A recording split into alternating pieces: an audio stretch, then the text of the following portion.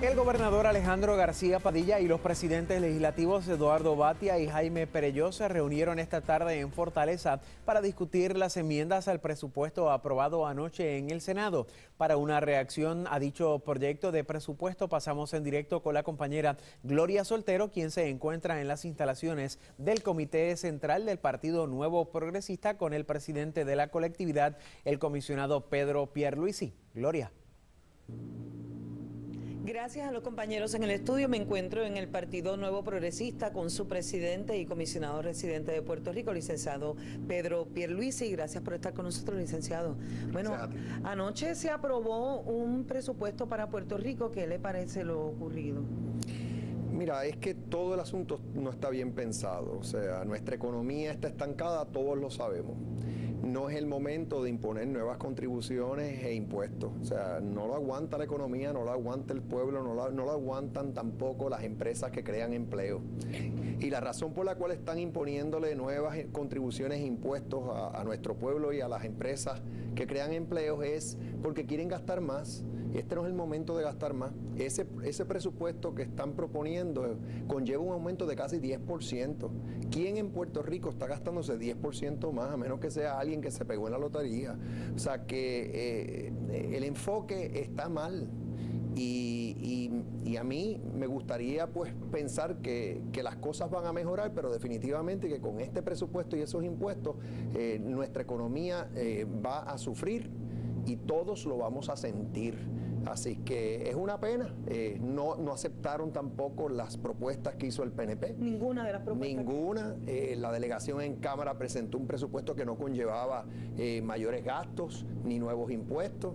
Fue rechazado y estaremos pendientes, pero vuelvo y digo, para mí se cae de la mata que este no es el momento para estar imponiéndole, metiéndole la mano en el bolsillo a nuestra gente, afectando el clima de negocios, las empresas que crean empleo. No, está muy mal. Comisionado, ¿cómo está su proyecto en Washington? El proyecto va caminando muy bien. El HR 2000, precisamente este fin de semana, la organización más grande de, latinos en Estados Unidos, LULAC, eh, lo endosó unánimemente Así que eso, eso, eso es bueno para el proyecto y ya tenemos más de 80 coauspiciadores y seguiremos trabajándolo, llevando el mensaje a todo el Congreso de que nuestro pueblo pidió un cambio de estatus, escogió la estabilidad como la mejor opción para nuestro futuro, así que eh, llegó el momento de que el Congreso nos ofrezca la estabilidad y que aquí podamos aceptarla y entonces eh, lograr ese progreso y esa igualdad de derechos que vemos en los estados. ¿Qué hace por acá por la isla? ¿Desde yo, cuándo y cuándo llegó? no, yo acabo de llegar porque estaba en la convención de, de, LULAC en Nevada. Acabo de llegar, estoy aquí entre hoy y mañana. Mañana regreso al Congreso porque el Congreso va a estar en, sesión desde mañana en la noche hasta el viernes. En cuanto a los fondos del Departamento de la Familia que se cree, eh, los fondos del PAN, mejor dicho, los fondos federales, que se piensa que va a haber una reducción de esos fondos hacia Puerto Rico, ¿qué tú puedes decir? Bueno, nadie ha planteado eh, que nos deben reducir los fondos del PAN eh, aquí en Puerto Rico en el Congreso, ni los republicanos ni los demócratas. Lo que sí estaban planteando los líderes republicanos era quitarnos la flexibilidad que tenemos de utilizar hasta el 25% del beneficio en efectivo. Eso sí lo estaban planteando, yo me opongo. Eh, el proyecto que se presentó en la Cámara, que se llevó a votación en la Cámara Federal, incluía esa eliminación, pero no, no prosperó. O sea, no, no logró, no fue aprobado por la Cámara Federal. Eh, el proyecto del Senado sí nos atiende, atiende mis reclamos de que nos dejen el PAN como lo tenemos, incluyendo con esa flexibilidad. Así que hay que seguir vigilantes y, estar pendientes y haciendo nuestros reclamos.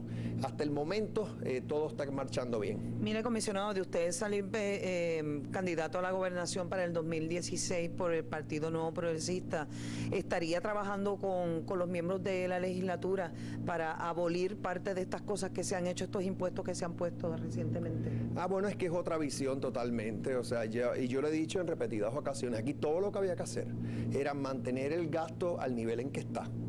Eh, ya tuvimos años en los que estuvimos reduciendo el gasto del gobierno considerablemente en la pasada administración. Ahora era cuestión de mantener el, gasto ahí al nivel en que está y no imponerle nuevas contribuciones e impuestos al pueblo.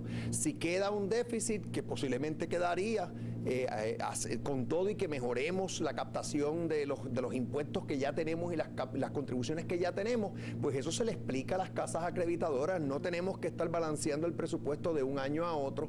Eh, hace cuatro años atrás era 3.300 millones de dólares. Este año pudiéramos acabar con una brecha de unos 600, 700 millones y explicarlo a las casas que seguimos mejorando. Pero la visión es totalmente equivocada. Es una visión de, de vamos a gastar más y vamos entonces entonces a, poner 1.400 millones de pesos en arbitrios para la gasolina, impuestos para los, eh, los seguros, eh, impuestos a los negocios, en los servicios que reciben, bueno, en fin, también una patente estatal para todas las corporaciones, que eso es como, como decir eh, otro impuesto arriba de las contribuciones que ya pagan, es una visión equivocada y es lamentable que esté pasando. ¿Cómo está su relación con el gobernador? Bueno, cuando las, veces que nos vemos es una, una, relación cordial, pero realmente pues él tiene un trabajo que hacer y yo tengo el mío. Muchas gracias, comisionado, por haber estado con nosotros, amigos. Regresamos al estudio.